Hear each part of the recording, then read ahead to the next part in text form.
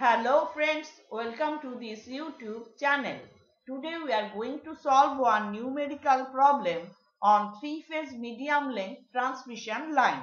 By solving this problem, we shall learn how to determine ABCD constants of a three-phase medium length transmission line based on its nominal pi equivalent circuit. We shall also learn how to calculate percentage voltage regulation and efficiency of transmission of this line using those constants. A three-phase 50 Hz 200 km long overhead transmission line has resistance equals to 0.16 ohm per kilometer and conductor diameter 2 centimeters with spacings 4 meters, 5 meters and 6 meters transposed. Using nominal pi equivalent circuit, we have to calculate the ABCD constants, the sending end voltage, current, power factor and input power. We also have to determine the efficiency of transmission and the percentage voltage regulation when the line is delivering full load of 50 megawatts at 132 kilovolts and 0.8 power factor lagging. Let us first write down the given data. Power delivered to the load PL equals to 50 megawatts that is equal to 50 into 10 to the power 6 watts. Line to line receiving end voltage VR line equals to 132 kilovolts that is equal to 132 into 10 to the power 3 volts.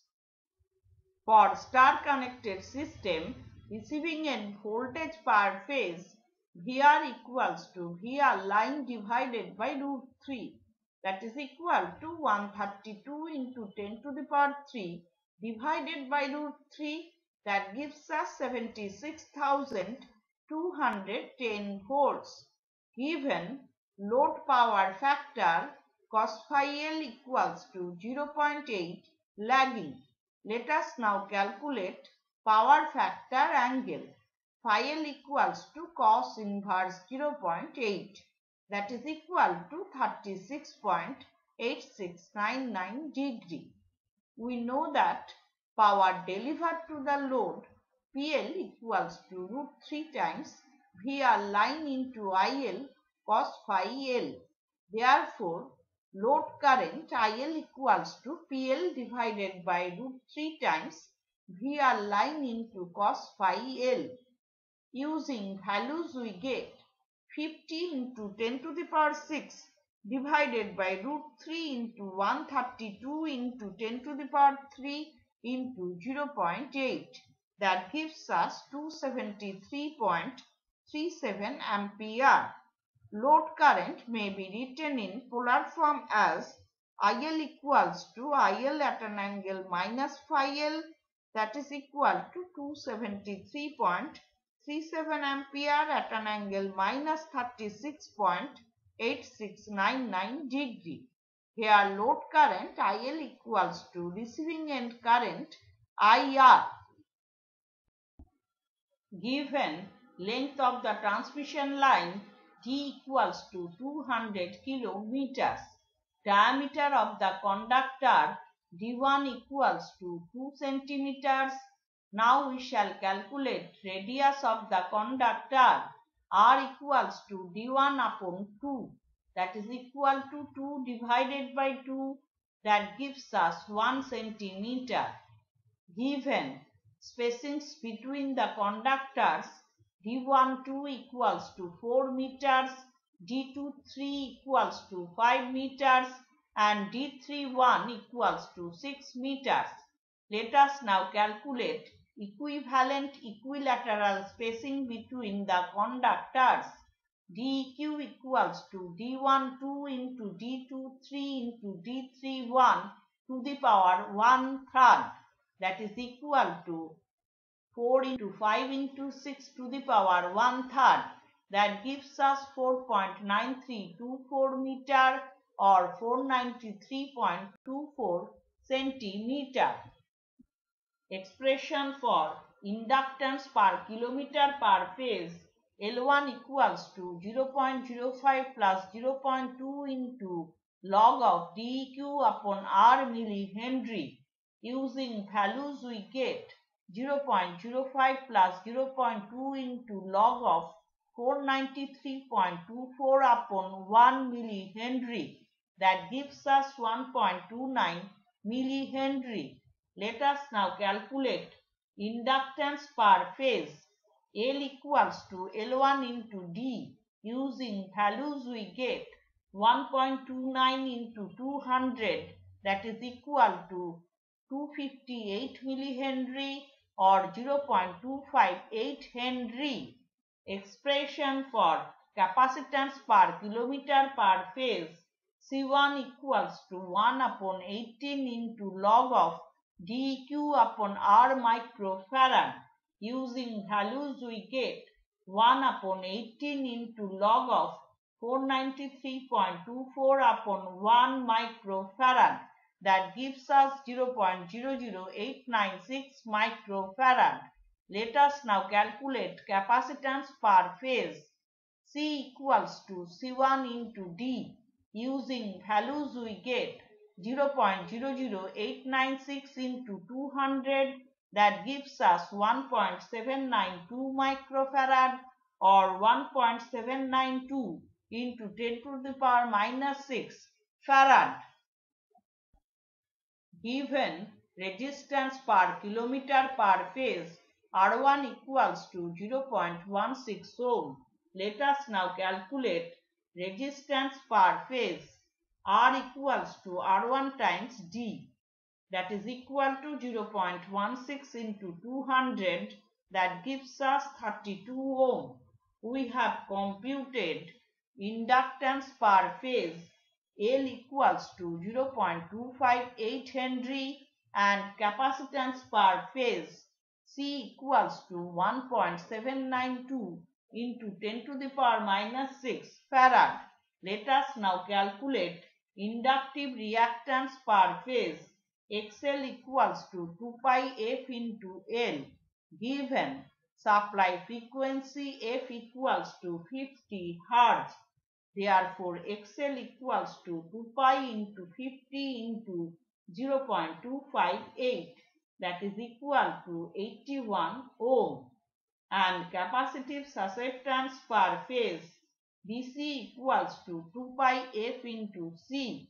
Using values we get 2 pi into 50 into 1.792 into 10 to the power minus 6 that gives us 562.9734 into 10 to the power minus 6 mho. Series impedance per phase of the transmission line Z equals to R plus JXL that is equal to 32 plus J times 81 ohm. This may be written in polar form as 87.092 ohm at an angle 68.443 degree. Shunt admittance per phase Y equals to J times BC that is equal to 0 plus J times 562.9734 into 10 to the power minus 6 mho. This may be written in polar form as 562.9734 into 10 to the power minus 6 mho at an angle 90 degree. We have obtained series impedance per phase of the transmission line Z equals to 87.092 ohm at an angle 68.443 degree and shunt admittance per phase Y equals to 562.9734 into 10 to the power minus 6 mho at an angle 90 degree. Let us now calculate Y into Z using values we get 562.9734 into 10 to the power minus 6 at an angle 90 degree into 87.092 at an angle 68.443 degree. That gives us 0.049 at an angle 158.443 degree. This may be written in Cartesian form as minus 0.0456 plus j times 0.018. Now we shall calculate 1 plus 1 fourth of y into z that is equal to 0.9886 plus j times 0.0045. This may be written in polar form as 0.98861 at an angle 0.2608 degree. For pi equivalent circuit, A equals to D equals to 1 plus half of y into z that is equal to 0.9772 plus j times 0.009. This may be written in polar form as 0.9772 at an angle 0.5277 degree. B equals to Z that is equal to 87.092 ohm at an angle 68.443 degree. C equals to y into 1 plus 1 fourth of y into z. Using values we get 562.9734 into 10 to the power minus 6 at an angle 90 degree into 0.98861 at an angle 0.2608 degree.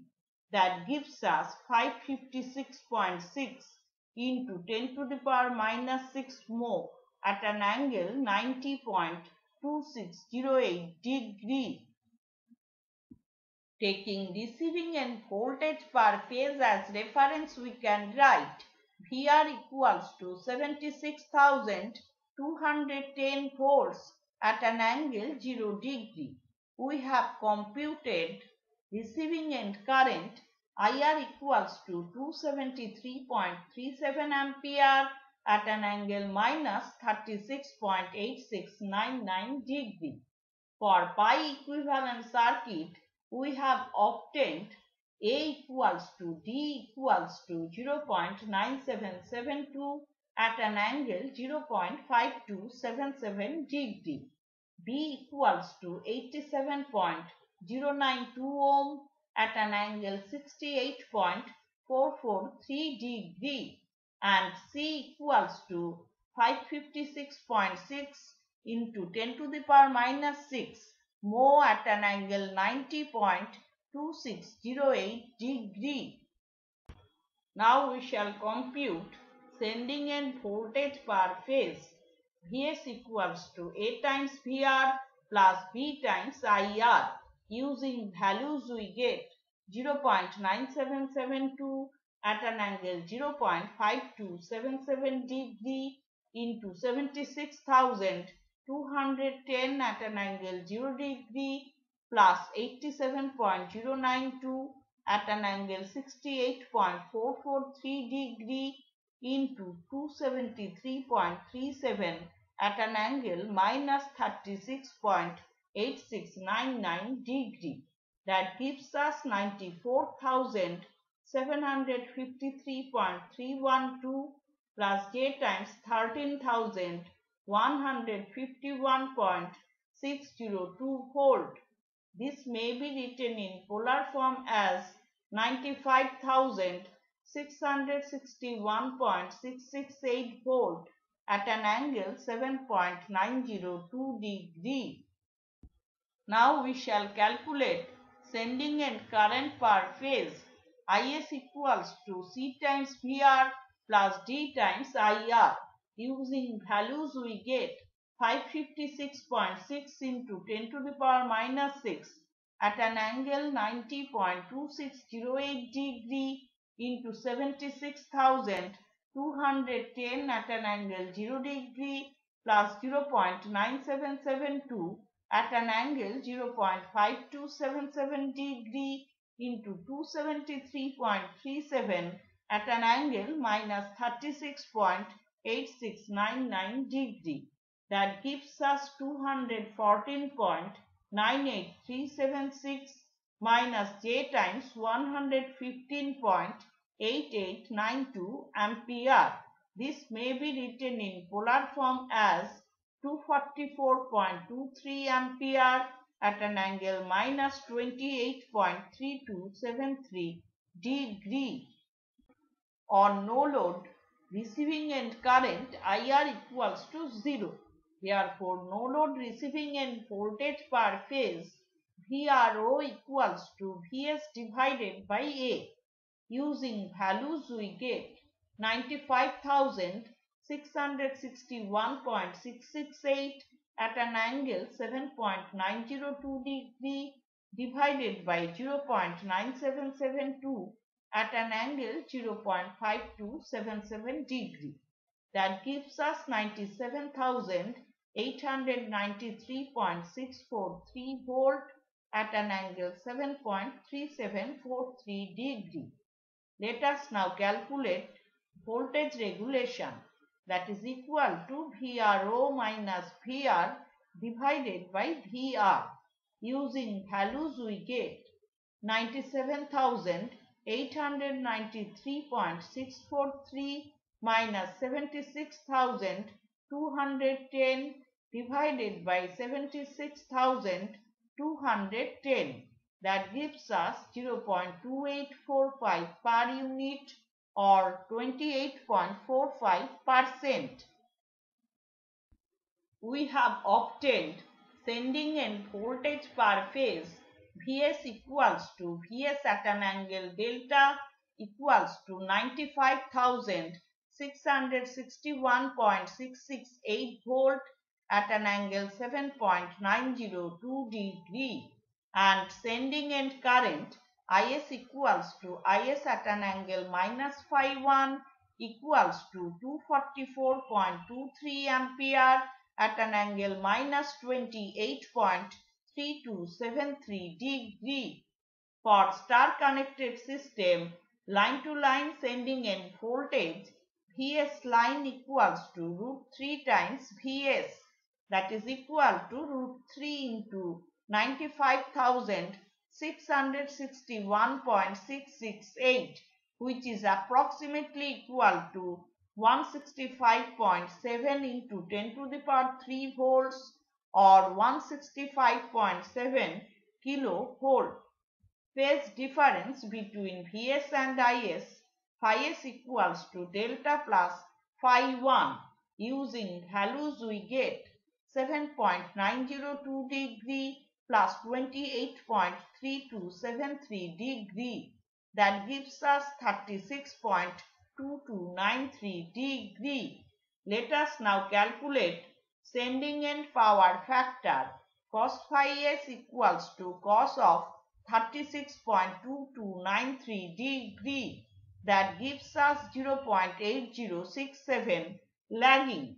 Now we shall calculate sending end input power Ps equals to 3 times Vs into Is cos phi s. Using values we get 3 into 95,661.668 into 244.23 into 0.8067 that is equal to 56.542 into 10 to the power 6 watts or 56.542 megawatt. Now we shall calculate efficiency of transmission eta T equals to PL divided by PS given power delivered to the load PL equals to 50 megawatts. Therefore, eta T equals to 50 divided by 56.542 that gives us 0.8843 per unit or 88.43 percent.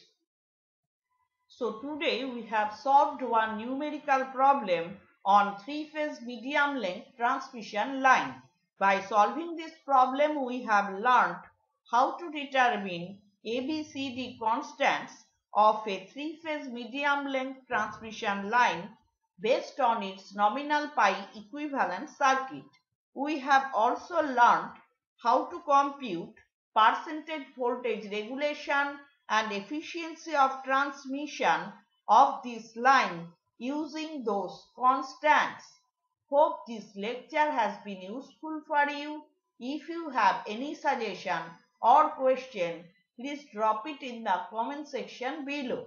If you have liked this video, give it a thumbs up and share it with your friends. Thank you.